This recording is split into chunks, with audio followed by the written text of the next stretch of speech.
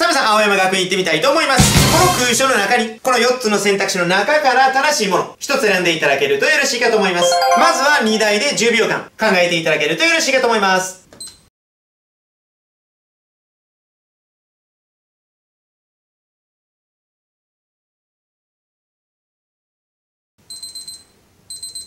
では問いの1番でございます。まず皆さん、メアリーさんは総理、残念に思ってるんですね。ですから感情。で、もちろん感情があれば、なぜ残念に思ってるのかという原因が必要ですよね。じゃあ皆さん、その原因を示す場合は、もう一発ですよね。正解は3番ですよね。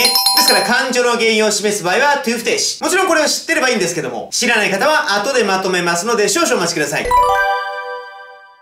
では問いの2番でございます。まず2番と3番は動詞ですよね。ただ皆さん、この文章中もう一つ動詞がありますからね。ですから2番と3番、どっちを入れてもこの文章中、動詞は合計2個になりますよね。ということは接続詞が1つ必要ですが、ご覧いただいてわかるかと思いますが、接続詞がないんですね。ですが、接続詞不足ということで2番、3番、×。で、次の段階ですので、ちょっと色分けさせてくださいね。さあ、残り1番と4番。もちろん1番は、リガードレスオブという表現でしたね。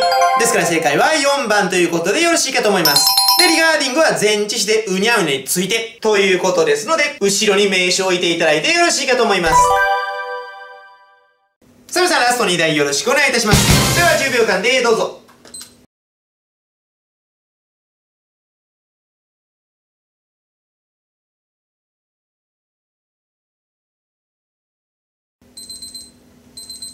さあ、問いの3番ですが、皆さん、アンドの前後の形がヒントですよね。で、皆さん、左側は形容詞プラス名詞。ですから、右側も形容詞プラス名詞。こうすれば良さげですよね。これでアンドの前後は同じ形になりますね。ですから、選択肢中から形容詞を選んでいただけるとよろしいかと思います。ですから、正解は3番ですよね。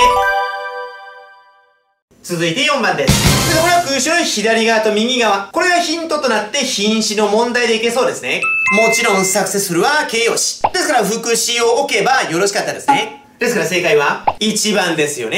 ですから一番最後に ly ついてますので、これも副詞のサインですね。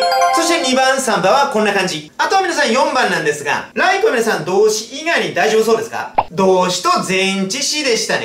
特に皆さん前置詞という意識がない方、かなりいらっしゃいますので、狙われますからね。ということでまとめに入ります。さあ皆さん、青山学院お疲れ様でございました。さん、青学は4択問題20問あるんですね。で、その中から4問ご紹介しましたが、ご紹介できなかった問題、どういう分野が問われていたのか、ちょっと書き出してみました。ま、さすがに20問ありますので、まんべんなく問われております。そして先ほどご紹介した知識と合わせて、出題されていた熟語、こちらに書き出してみました。まあ、おおむね大丈夫かなという感じはするんですが、もし知らなかったら、この後ノートを取っていただいて、ノートを取った後はこれですよね。赤シートで隠して、スラスラ言える。そこは皆さん頑張っていただけるとよろしいかと思います。ということで知識は確実に、